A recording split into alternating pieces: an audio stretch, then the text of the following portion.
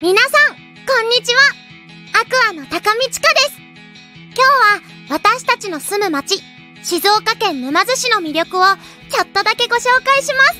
まずは、水戸海水浴場。伊豆水戸シーパラダイスや淡島マリンパークも近くて、一日中楽しめます。こちらは尾瀬海水浴場。ダイビングスポットとして有名です。そして、沼津といえば、んといっても海の幸。泳いだ後の美味しいご飯は格別ですよ。夏は沼津が最も輝く季節。海水浴と美味しい海の幸を味わいにぜひ遊びに来てください。